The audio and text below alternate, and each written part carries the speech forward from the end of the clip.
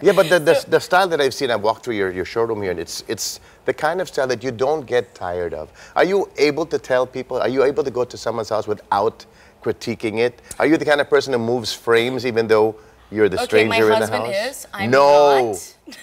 no, he's more Christian OC. in is OC? He's more on, you know, like the table arrangements and things like that. I'm a bit more relaxed. We're I mean, so I have related. my own OC ways. I wouldn't do it to someone else's house. But Really? I'm very straightforward. So I'll You're just not coming to my house. There's no way. No, because I will not have it's you work in in, progress, and I'm sure there's a lot of good things to see. There's a couple of good things I must admit, but they're not mine. That's the worst part. That's the best part. You know what my, my art, my, my, my talent is?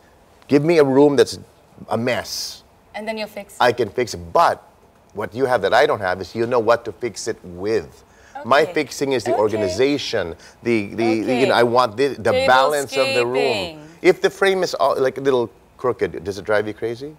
No, it drives my husband crazy. Really? Yes. We're so related. He's a lot better looking than me. How did that happen?